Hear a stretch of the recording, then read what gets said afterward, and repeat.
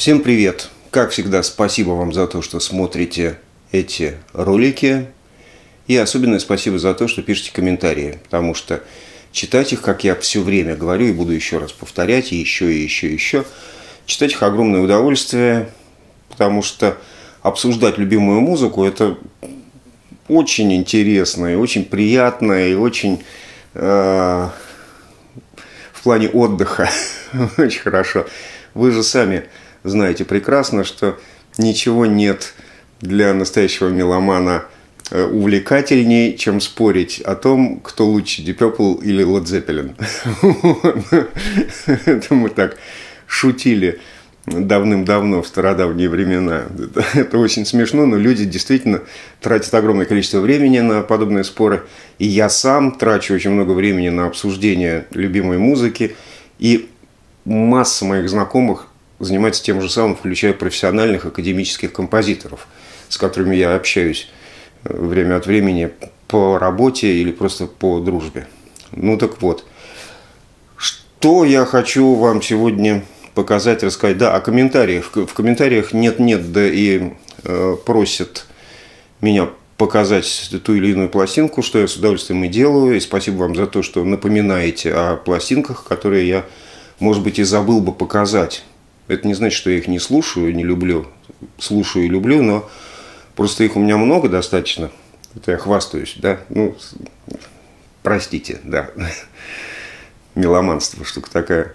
Но как-то вот э, иногда и не вытащишь с полки то, что вот сейчас я покажу. Но очень много раз писали про пластинку Close to the Edge группы Yes, конечно же. Yes я обожаю. У меня их две, кстати говоря, тоже. Одна старая, немецкая, правда, вторая новая, тоже немецкая. Ну, звучат немножко по-разному, но все равно хорошо. Как сказал один замечательный музыкант, с которым я э, как-то общался, он сказал вообще, а какая разница, ноты ведь те же. Ну, да, можно и так судить. Так, Age, 1972 год. Джон Андерсон, Билл Бруфорд, Стив Хау, Крис Квайр, Рик Вейкман. Многие говорят, что это лучший альбом так называемого прогрессивного рока – что я могу сказать по этому поводу? Ну, во-первых, я уже давным-давно не делю музыку на прогрессивный рок, панк-рок, фанк, джаз или э, там хэви-метал. Мне главное, чтобы музыка была хорошая. А как ее называют критики или продавцы в музыкальных магазинах, мне вообще не интересно. То есть лучший альбом прогрессивного рока. Пусть будет так. Для меня это просто одна из самых замечательных пластинок музыки под условным названием рок. Можете назвать ее прогрессивной, можете назвать ее арт-роком, там как угодно. Мне вообще все равно. Для меня э, лучшая пластинка, любимая моя, например, это «Please Please Me» группы The Beatles, которая не является никаким прогрессивным роком. А я, я, я ее ставлю примерно рядом с э, пластинкой Yes Close to the Edge. Вот, вот такой я э, человек прогрессивный, непрогрессивный, дело вообще сотое, 25 или 38 Просто э, мне кажется, что когда в музыке есть, э, когда у музыканта есть какая-то идея внутри, не идея э, отсюда, а идея вот отсюда, есть желание что-то сказать, есть желание самовыразиться, и при этом есть определенные технические навыки – неважно, сильные навыки, слабые навыки, совершенно неважно. Если эти навыки позволяют донести то, что человек хочет сказать, это уже будет отличная музыка. Всегда. Если сказать нечего, какие бы навыки, какими бы навыками музыкант не обладал, слушать это безумно скучно. И такой музыки тонны просто есть. Когда виртуозы играют виртуозную музыку – я слушаю и понимаю, что ну там ничего нет внутри вообще. Вообще ничего.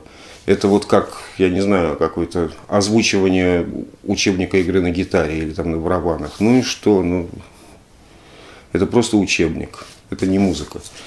В отличие от этого альбома, где настоящая, самая сплошная, серьезная интересная, яркая музыка.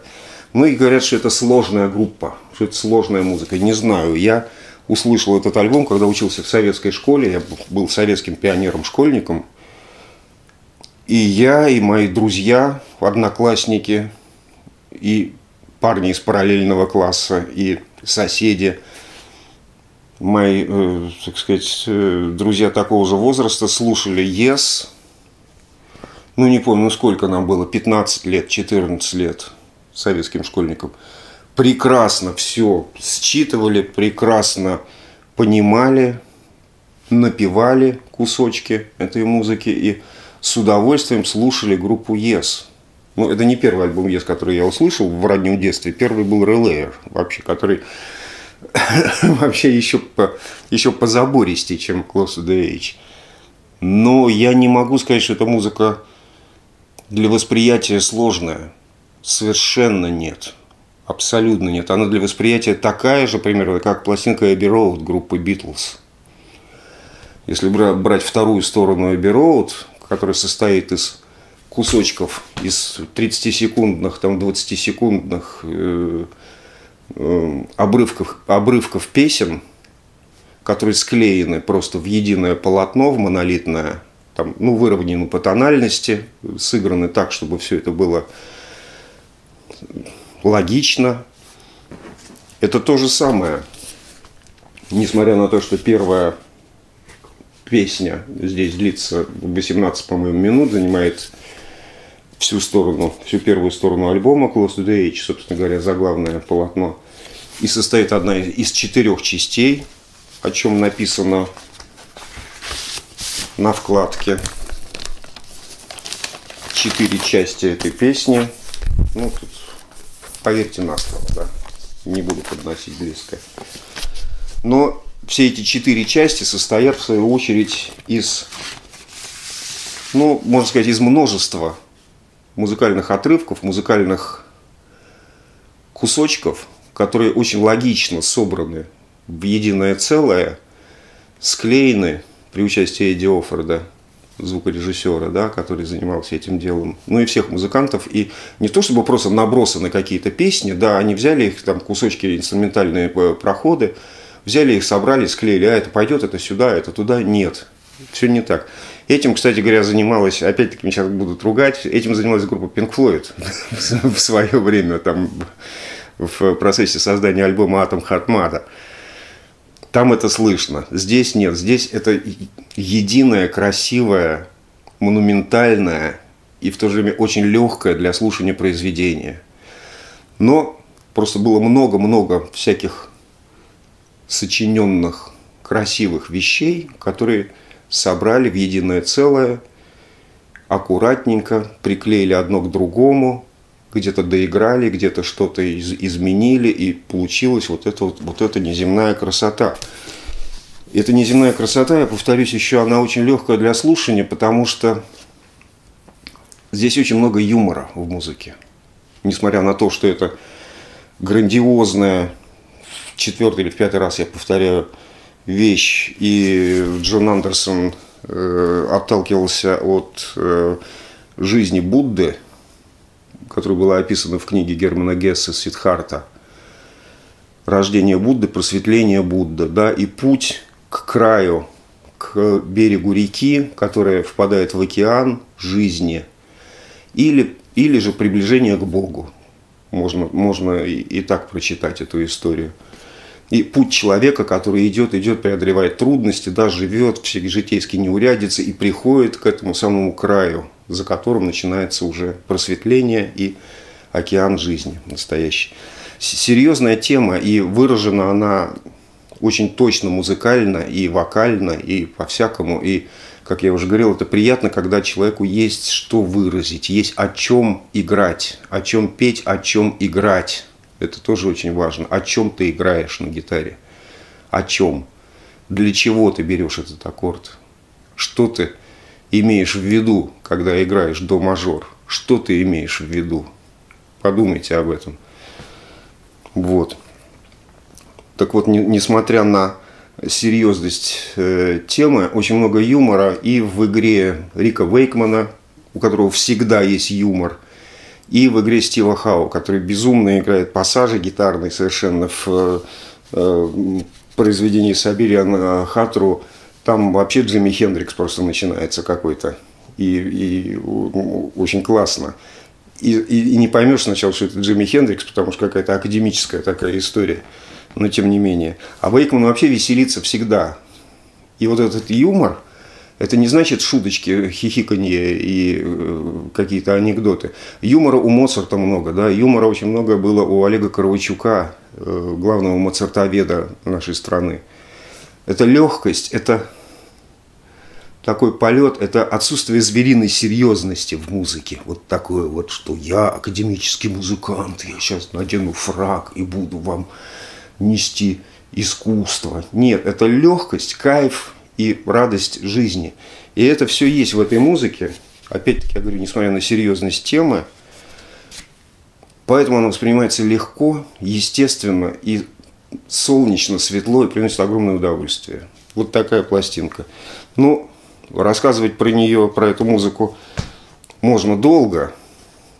Чудесное начало с птичьим пением, с клавишными звуками синтезированными, да, всякими разнообразными. И потом вдруг врубается бас Криса Сквайра и соло Стива Хау, какое-то поперек идущее, абсолютно поперек. Вейкман играет свои дела. Этот Хау играет свои, совершенно другие, вот эти нервные, очень быстрые пассажи.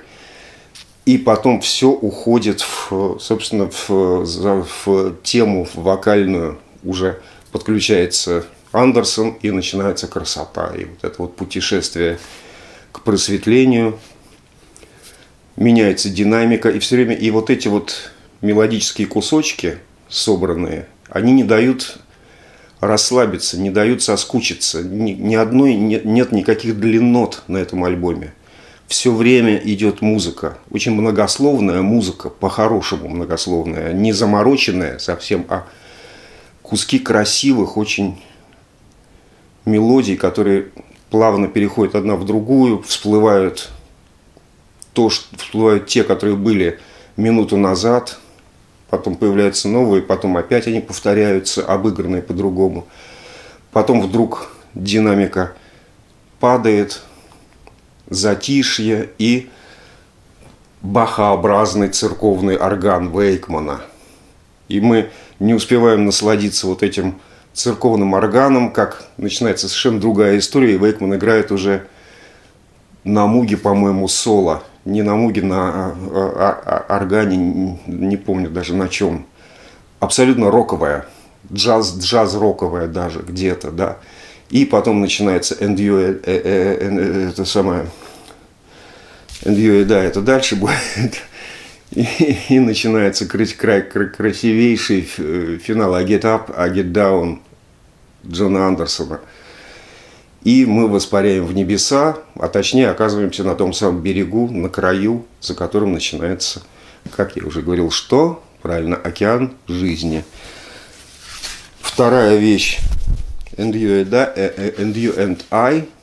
На второй стороне 12-струнная гитара, свет, как бы фолк, как бы акустика, блестящий подъем мелодии голосом Андерсона наверх, наверх, наверх, наверх, наверх, и кажется, конца не будет, но потом все все-таки по-человечески начинается э, уже э, сказать, в нормальном диапазоне пения.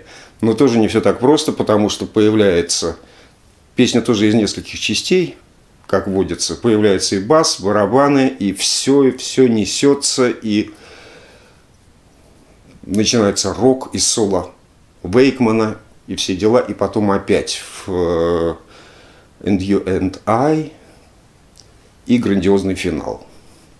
А Siberian Khatru, Khatru вообще это слово, придуманное Андерсоном. В детстве мы, нам, мы думали, что это сибирская каторга называется песня. Нет, это Siberian Khatru. Просто, причем песня очень солнечная, и как раз она вот а-ля, а Джимми Хендрикс играет Стив Хау начало, а потом просто шквал изменений фантазии, безумия и неземной красоты. И очень все интересно. Билл Бруфорд ушел после, после этого альбома, но не, не сразу после этого альбома, а э, в процессе тура после выпуска этого альбома, потому что очень сложно было все играть, и он устал. И ушел в Кинг Кримсон, где ему показалось легче. Вот, вот такая история. А группа Yes, а альбом этот, на мой взгляд, является первым альбомом и, может быть, главным для Yes, потому что здесь сформировался именно их фирменный стиль, именно их уникальный подход к сочинению, к исполнению, к подаче. Появился абсолютно уже точный, отточенный свой собственный звук, собственная манера. И появилась концепция группы Yes. Вот именно на этом альбоме. И дальше уже они могли делать все, что угодно. Вот так мне кажется. Послушаю еще раз сегодня или эту пластинку, или другую. Но сначала пойду пить. Пока.